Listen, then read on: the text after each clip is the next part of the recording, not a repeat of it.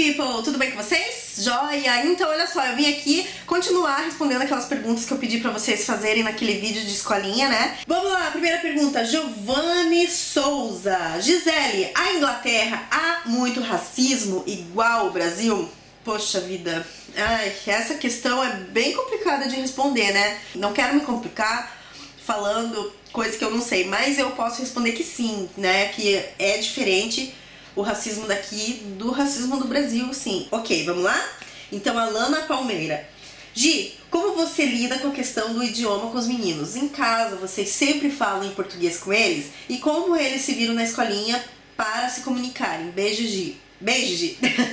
os meninos na escolinha só inglês, né? E em casa também só. Também não, né? Só português. Nós só falamos português com eles no diálogo, mas muitas palavrinhas, muitas cores, letras, números, objetos. Eu forço sim para que eles falem inglês e eles gostam de falar inglês para quando eles chegarem na escola eles, né, o mínimo de vocabulário eles precisam ter. Márcia Marques. Oi Gisele, tudo certo? Fale mais, por favor, como é a interação dos pais nas escolas, médicos e em geral na comunidade. Fala de interação de brasileiros. Você teve essa dificuldade ou ainda tem? Seu marido também teve essa dificuldade? Obrigado em dividir suas experiências. Beijos. Assim, é muito cedo ainda para falar, né, a respeito de escola, escola mesmo, mas só na pré-escola que os meninos já estão frequentando, existem aquelas reuniões que os pais vão conversar, todos os pais vão conversar, a, a, os professores passam, né? Qual é a metodologia que eles estão passando, coisa parecida. E é uma oportunidade dos pais estarem também se encontrando. Se eu não me engano, agora, daqui umas duas semanas, vai ter um encontro, um café da manhã entre os pais. Assim, você leva a criança e os pais vão ter a possibilidade de se conhecerem também. Existem algumas atividades que as crianças fazem que os pais são convidados também. Então sempre há uma possibilidade de você estar tá conversando com os pais sim. A Gabriela Pagnozin. Oi Gi, muito bom o vídeo, respondeu todas as minhas dúvidas, eu acho. Mas queria conversar contigo sobre o seu trabalho como fotógrafa. Como funciona? Onde posso falar contigo? Queria fazer fotos do meu baby fazendo smash de cake aqui em Londres. Consigo falar com você pelo Snap? Será? Gente, Snap, pra mandar mensagem, eu acho horrível. Ainda mais quem tem criança em casa. Às vezes eu vou ler a mensagem tem alguém fazendo barulho. Ah, perdi a mensagem, né? Olha, quem quiser entrar em contato comigo pode mandar por e-mail giseledalpai.gmail.com ou então pela página, né? E eu posso estar entrando em contato. Vamos lá, próximo, a Taissa Pelissari. Viva! Estava esperando esse vídeo. Essas 15 horinhas são uma benção, não são? Bem, que poderia ser mais. Talvez ano que vem serão 30 horas semanais. Amém! Pois é, Thaisa. Eu, Thaísa, né? Desculpa. Thaísa, eu já ouvi essa história que ano que vem vão ser 30 horas semanais ao invés de 15 horas semanais para as crianças que completam 3 anos eu também acho pouco milagre. Então, por isso que eu nunca falei nada nos meus vídeos. Mas eu já ouvi sim que a partir de setembro do ano que vem, as crianças a partir de 3 anos vão receber 30 horas semanais. Vamos ver, né? Lívia Albuquerque. Nossa, Gi, tá magrinha. não tô, não tô, gente. Parece, mas não tô. Camila Guto 10. Oi, Gi, meu filho fez 4 anos e vai ano que vem para a escolinha. Fiz matrícula dele esses dias e meu coração está apertado. Mas sei que preciso ter meu tempinho e ele também precisa ter o tempinho dele. Vai ser bom para nós dois. Desde que nasceu, fico o tempo todo com ele e está chegando a hora dele voar, respirar um pouco. Não esquenta com julgamentos aqui nos comentários. Quem sabe bem da sua vida é você e todo ser humano precisa de um momento só seu. Beijos, amo vocês. Ah, que fofo. Obrigada, Camila.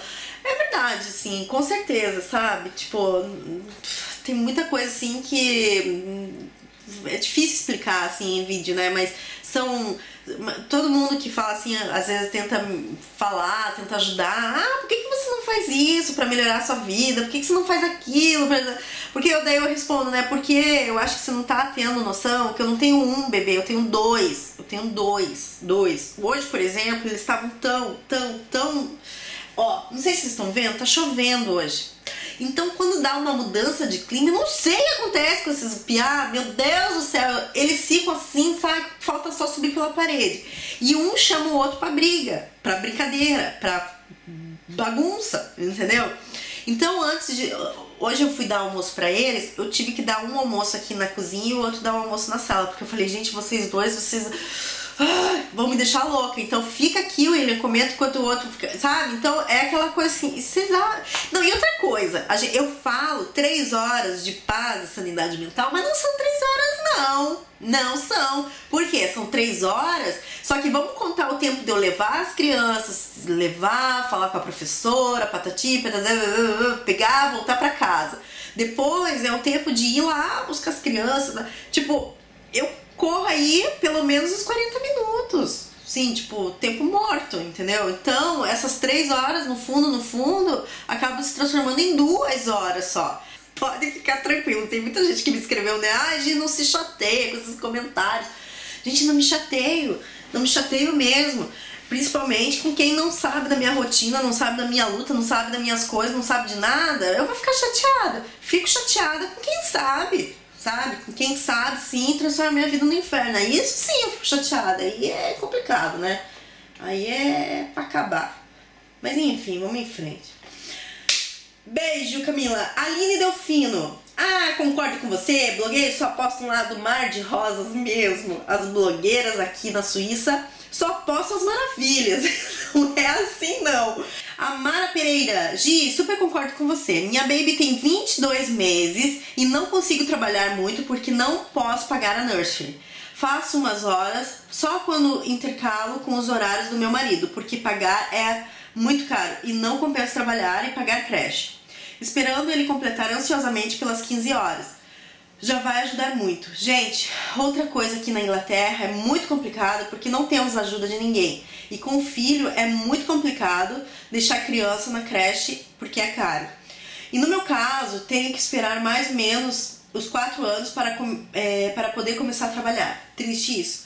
Pois é, Mara, é bem isso que acontece mesmo. Muitas mães esperam, né, para poder ter essa hora completa, pelo menos. E mesmo tendo essa hora completa, já fica difícil, né? Porque qual trabalho que você vai achar das nove e meia às duas e meia, vamos dizer, né? É, realmente são trabalhos que você vai ter que fazer meio, é, sei lá, self-employed, né? Ai, bom, mas a gente dá um jeito. A Renata Patrícia, Gi, a, Pat a Renata mora aqui. Gi, informa na escola, pois quando você tem dois filhos, quase na mesma idade, por exemplo, o William, né? fazer 4 anos e entrar full time e o Thomas com 3 anos entrar às 15 horas, ele pode ter um irmão full time. Ele tem mais chances de pegar full time também. Se caso ele não conseguir de graça, você pode pagar por semana, que é 50 libras por semana. Aí ele leva o lanche ou você paga o da escola. Mas lembrando, você tem que ir na escola e informa a eles que você deseja a vaga, tá bom? Beijos, espero ter ajudado qualquer coisa, me manda uma mensagem. Beijo. Renata, pois é, eu já entrei em contato com a escola e provavelmente quando o William completar 4 anos, ele vai para uma escolinha que o Thomas também vai. Hoje eles, cada um está numa, numa nursery diferente, numa pré-escola diferente, então tá bem atrapalhado, assim, sabe? Nossa, tá. Gente, esses últimos meses aí tá super atrapalhado, assim, a escolinha deles, porque o William acabou mudando da escolinha onde ele tava, mas por um bom motivo. Mas quando o William completar 4 anos, ele vai para a escola. E aí eu quero que ele vá para uma escola que o Thomas também pode ir. Porque agora no momento eu tô me dividindo em dois, dois lugares e a entrada e a saída são no mesmo horário. Como que você faz isso, Gisele? Não sei. Acho que é assim, ó. ó deixa eu mostrar, ó. Tênis. eu corro, literalmente, eu corro.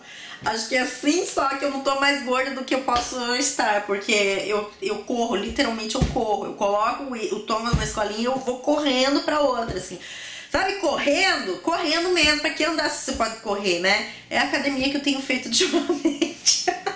Obrigada, tá, Renata? Sim, com certeza. Tem que, para todas as mães que estão aqui terem, né, cuidado, realmente vocês têm que ver tudo isso já, ó, meses antes. Não é um mês antes já que a criança vai entrar na escolinha que você vai mexer com isso. Não, tem que ser bem antes, tá? Continuando. Kelly Pacheco. Assista e gosto muito dos seus vídeos. Obrigada, Kelly. Gostaria de saber se os meninos têm amiguinhos brasileiros para brincarem. E se vocês ensinam cultura e a nossa língua. Um grande abraço. Kelly, com certeza eles têm amiguinhos brasileiros. Eu tenho amigos brasileiros também. Agora que os meninos começaram na escolinha, ficou mais difícil de encontrar esses meus amigos durante a semana, né? Então, mas de qualquer forma, né? Sim, eles têm amiguinhos brasileiros e a gente passa cultura com toda certeza também. A Milene Lima, muito bom vídeo, obrigada Milene. Fernanda Luiza, concordo, Gi, não é fácil cuidar de duas crianças com tanta energia. Super entendo, adoro ficar com o meu baby, mas sei que não é fácil. É verdade, tem muitos bloggers que só mostram o lado bom das coisas, nada é perfeito, tem que ter sinceridade. A pergunta dela. As crianças falam mais inglês ou português? Misturado, assim, tá? Luciene Florence. A vida é um lençol curto demais. Se cobre a cabeça, descobre os pés. Então vamos fazer escolhas que nos permitam ser felizes. Ter filhos e morar fora do Brasil não é fácil, mas é opção. Beijos. Com certeza, é a Lucineide Florence, tá? Como eu sempre falo, é difícil morar aqui, é difícil, a gente enfrenta um monte de coisa, mas eu não me arrependo nem um segundo de ter vindo pra cá, tá? Nossa, tá escura essa imagem, né? Ai, gente, desculpa. Mas, enfim, é, deixa eu colocar aqui, peraí. Ó, melhorou um pouquinho, né? Agora eu tô ficando amarelada, bom, enfim. Bom, mas como eu sei que vocês só gostam mesmo é de escutar, na verdade, né? Você que tá lavando louça, tomando banho. que mais? Que mais? Mas esses dias me falaram que estavam fazendo uma coisa que eu achei tão engraçado. Não vou lembrar. Mas cozinhando, né? Ah, passando roupa. Tem gente que me assiste passando roupa também. Então, passa direitinho aí enquanto eu vou conversando com vocês. Vamos lá. Então, a Lucineide, né, falou que é difícil. É sim, é muito difícil, mas é uma opção que nós fizemos e, como eu digo, é uma fase. Acho que a fase deles bem crianças, assim. É, assim, sempre vai ter, é como jogo de videogame, né? Sempre vai ter uma fase difícil. Eu fico imaginando eles na adolescência. Meu Deus do céu, o que, que vão ser essas crianças na adolescência deles? Eu fico assim, rezando, sabe, pensando, sabe, torcendo para que eles sempre né, caminhem no bom caminho porque eu não fui adolescente aqui, eu não sei qual é a cultura deles. Eu sei que com 16 anos você já sai de casa, porque com 20 anos você morar dentro de casa, você é considerado loser, entendeu? Tipo. É, mas, gente, um passinho de cada vez, calma. Agora ele só tem máximo 3 anos, mas é como eu falei, nem tudo é mar de rosas, realmente, né? Não? Porque quando a gente faz parte do desconhecido Ai, é tão. É muito.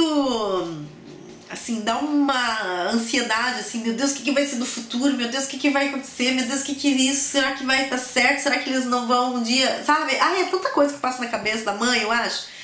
Daquela coisa. Porque sempre há uma cobrança, né, do nosso lado também. Nossa, será que eu fiz a escolha certa de trazer eles pra cá? Será que eu fiz. Sabe? Poxa! Se vocês conseguissem ver o raio-x da minha cabeça, acho que explodia essa televisão, o computador que você tá assistindo. Bom, enfim, vamos em frente. Beijo, Lucineide.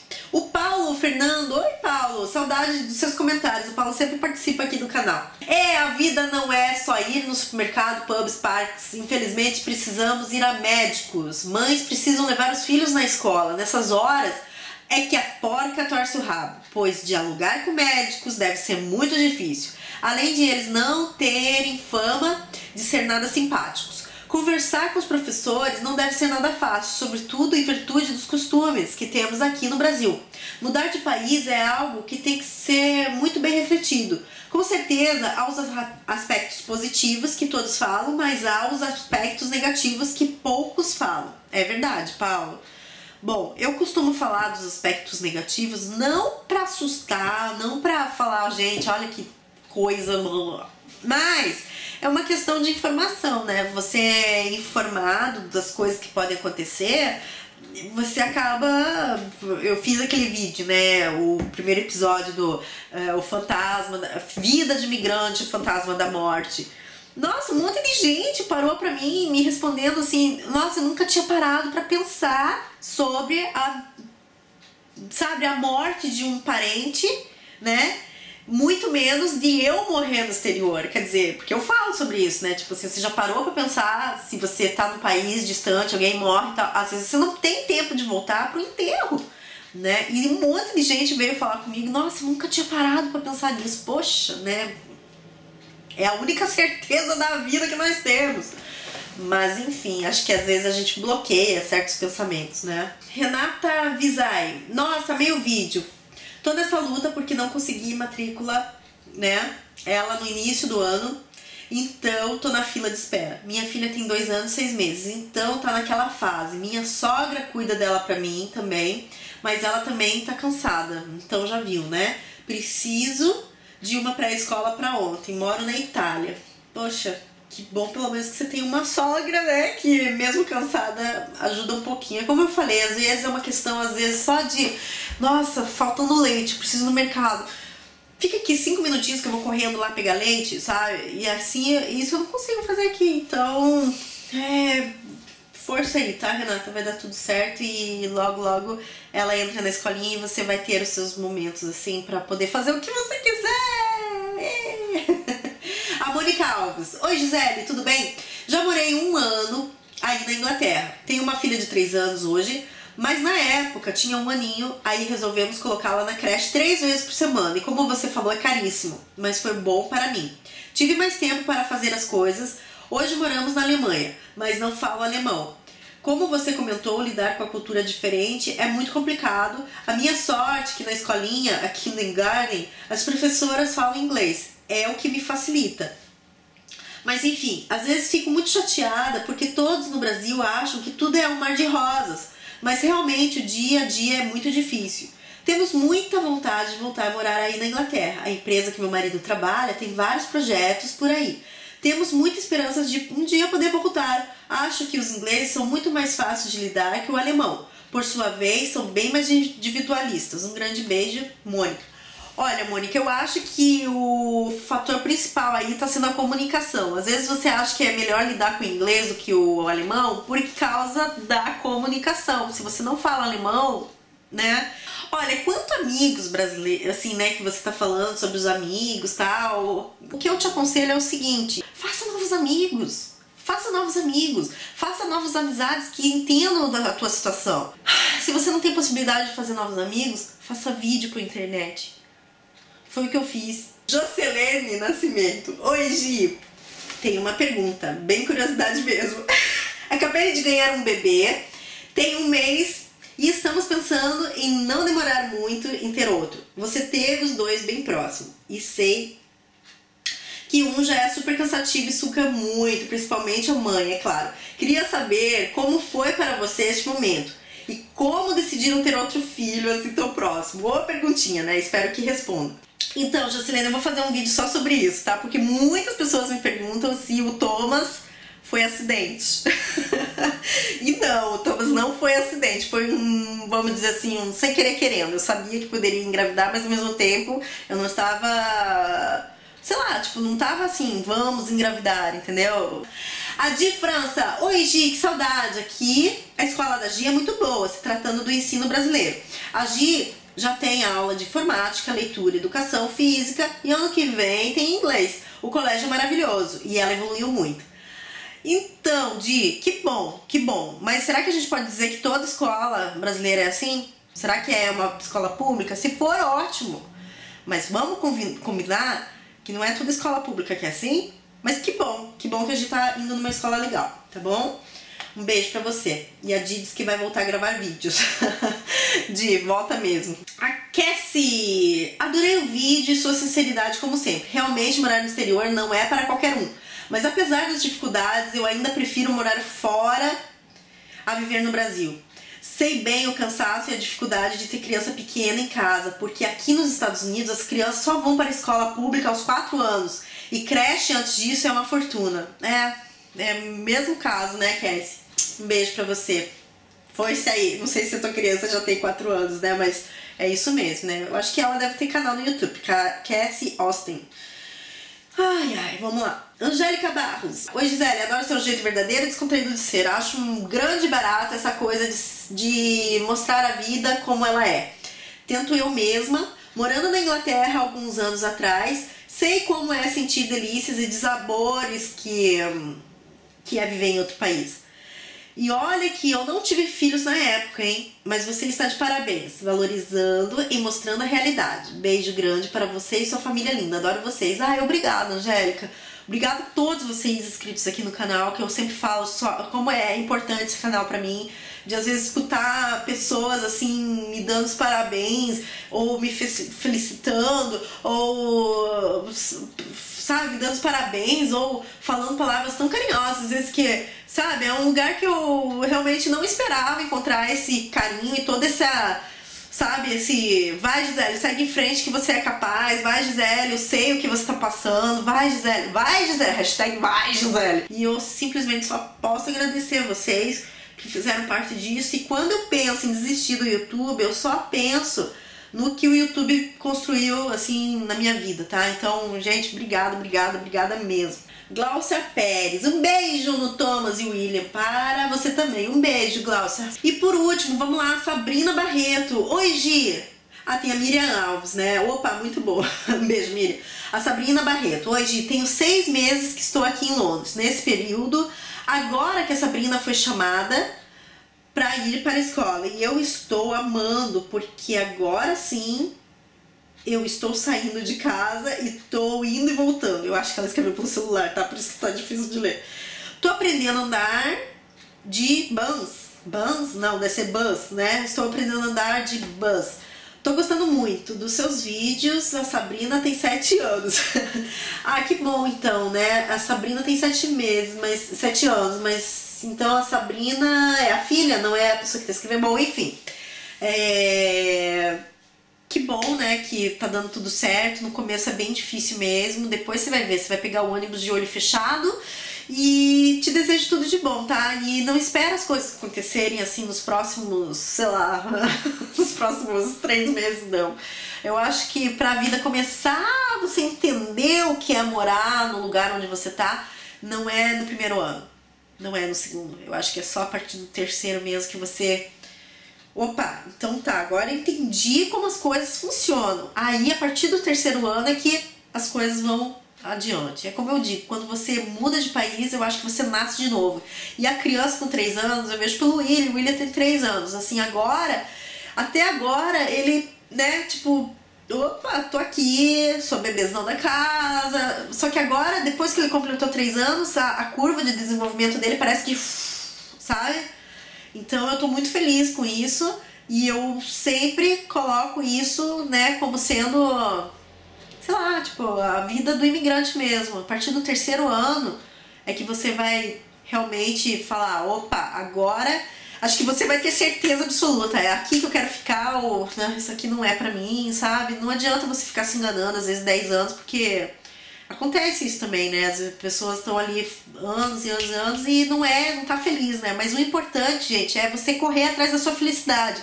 Não adianta você também querer sair do Brasil falando assim, ah, porque lá eu vou ser feliz, tem um monte de problema lá atrás sei lá, com relacionamentos e falar, não, eu vou pra Inglaterra porque lá eu vou ser feliz. Esquece. Esquece que esses problemas vão te perseguir. Resolve tua vida e depois muda, entendeu?